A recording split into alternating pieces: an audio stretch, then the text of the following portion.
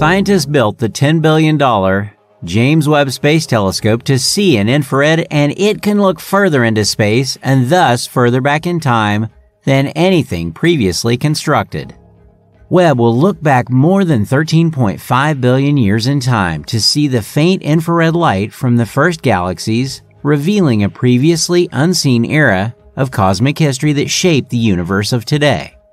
It's a cosmic time machine capable of seeing galaxies and stars as they were as few as 100 million years after the Big Bang, the unimaginably violent genesis of the universe.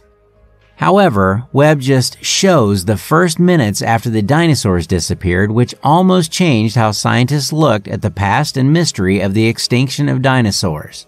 So join me as I show you insights into how James Webb Telescope reveals what happened in the first minutes after the dinosaurs disappeared and how it affects universe and humankind as a whole.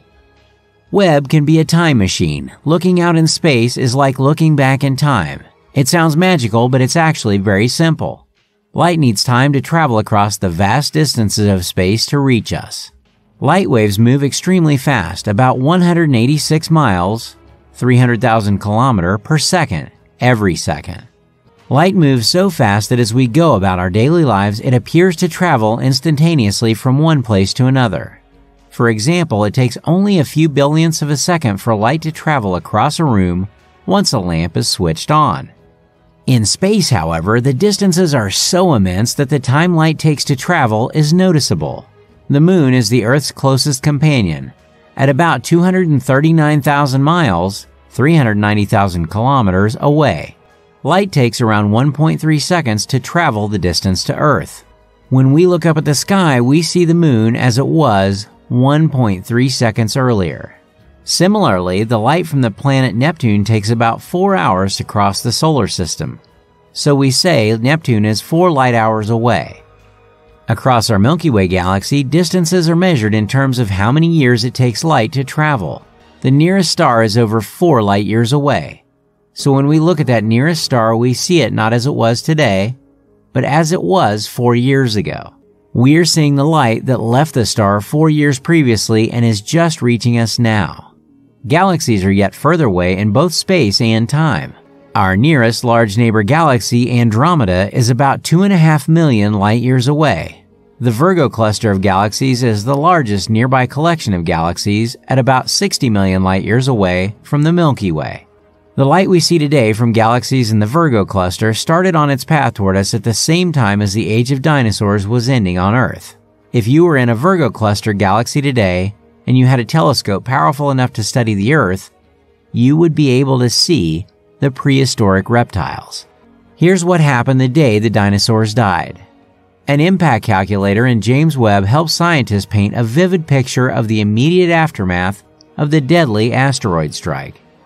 Imagine sunrise on the last day of the Mesozoic era, 66 million years ago. Shafts of sunlight rake through the swamps and coniferous forest along the coast of what is now Mexico's Yucatan Peninsula.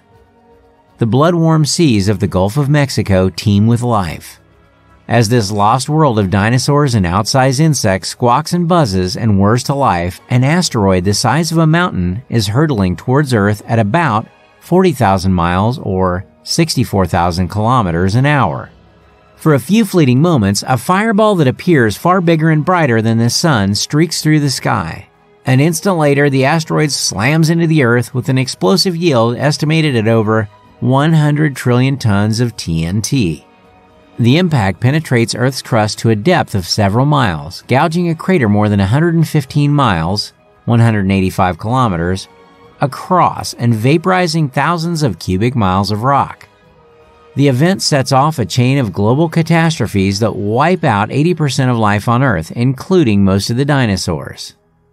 This apocalyptic tale has been described in countless books and magazines ever since the asteroid impact theory was first put forth in 1980.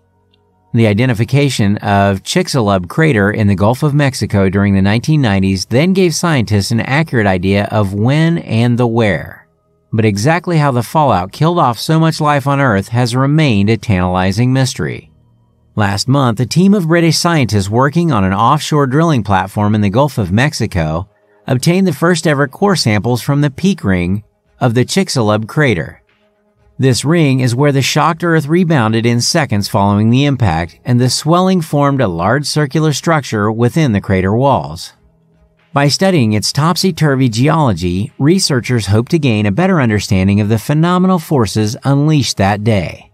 What is already known would beggar the imagination of Hollywood scriptwriters.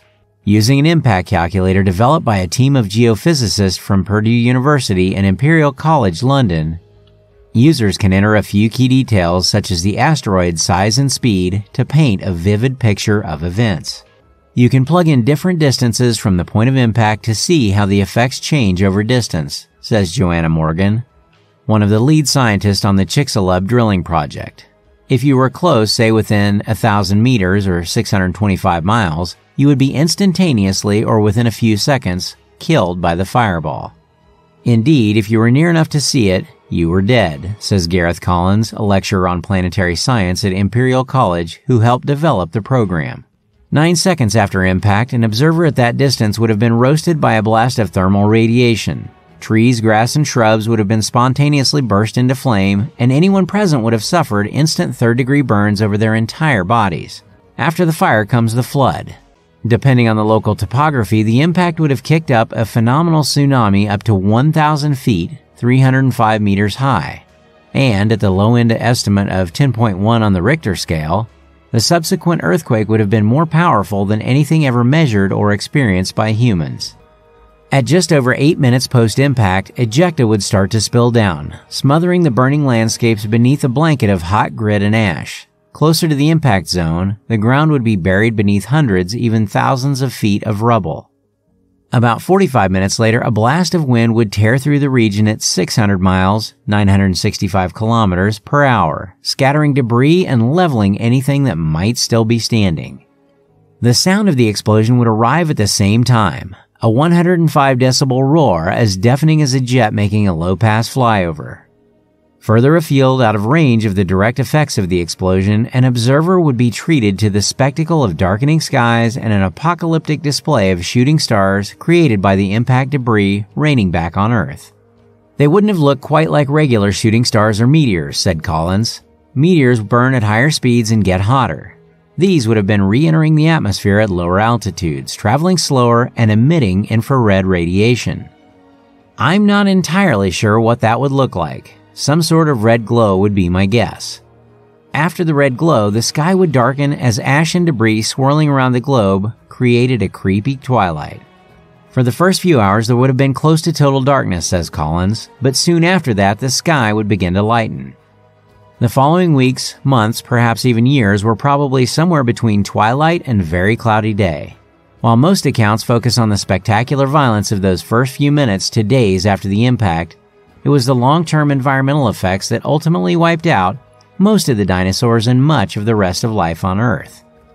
The prevailing dimness caused by the dust cloud meant photosynthesis would have been dramatically reduced. The soot and ash would have taken months to wash out of the atmosphere, and when it did, the rain would have fallen as acidic mud. Massive fires would have produced huge amounts of toxins that temporarily destroyed the planet's protective ozone layer. Then, there was the carbon footprint of the impact itself, which released an estimated 10 billion tons of carbon dioxide, 100 billion tons of carbon monoxide, and another 100 billion tons of methane in one fell swoop, according to geologist David Kring of the Lunar and Planetary Institute. In effect, the aftermath of the asteroid was probably a powerful one two punch of nuclear winter followed by dramatic global warming. And that's where the core samples freshly pulled from Chicxulub crater can help fill in the gaps in this infamous story.